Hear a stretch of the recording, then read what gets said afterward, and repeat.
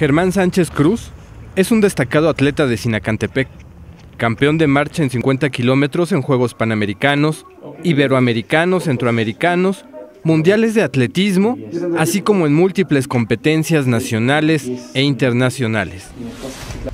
En esta pista que estamos viendo fue donde inicia mi carrera deportiva. Yo empiezo a la edad de los 17, 17 años, ya formalmente eh, dedicado al 100% a la práctica de, de la marcha.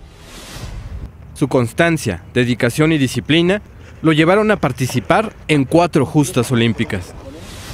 Pude lograr empezar a destacar en, en los años 90 calificando a mis primeros Juegos Olímpicos en el año 92 junto a Miguel Ángel Rodríguez y Carlos Mercenario. Hay que recordar que en esos Juegos Olímpicos la caminata fue la única prueba que trajo medalla olímpica en las piernas de Carlos Mercenario, siendo coequiperos Miguel Ángel Rodríguez y, y tu servidor. Y de ahí de ahí hasta culminar con cuatro Juegos Olímpicos, pasando por Atlanta 96, Sydney 2000 y Atenas 2004. Ahora, con 46 años de edad y un cúmulo de experiencia deportiva, comparte sus conocimientos como entrenador, formando a los nuevos valores de la marcha mexicana.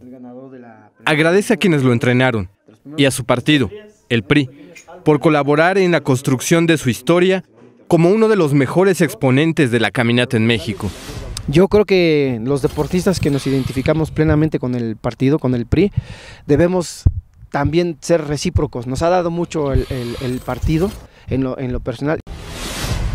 Al ser un ejemplo como hijo, padre, esposo y atleta, se convierte en la voz autorizada para dar una recomendación a la juventud mexiquense mientras más jóvenes logremos que practiquen el deporte, más jóvenes vamos a tener alejados de los vicios y la ociosidad.